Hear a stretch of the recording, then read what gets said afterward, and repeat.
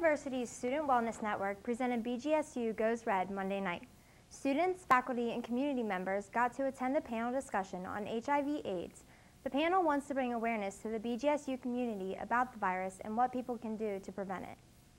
One of the main points the panel made was that in America, one person is infected with HIV every nine and a half minutes. Another point is that people need to understand how the virus is spread. Semen, vaginal fluid, breast milk, those are the four main ways in which HIV and AIDS is transmitted.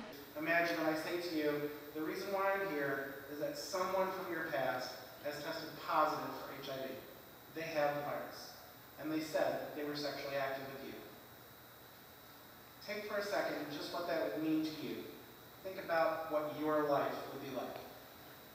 Imagine, just in that little instance, that, oh my God, it actually is happening to me and not happening to someone else.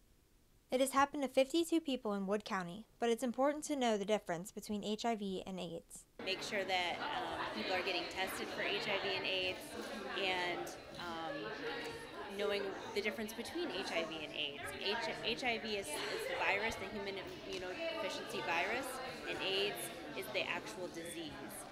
That's why it's important for people to know their status by being tested. Anyone can get free and confidential HIV testing every Friday from 9:30 to 3:30 at the rec center. Students can also join the Condom Sense program to prevent from getting the virus. The program offers 50 condoms just for $10. Live in the studio, I'm Carly Ranks.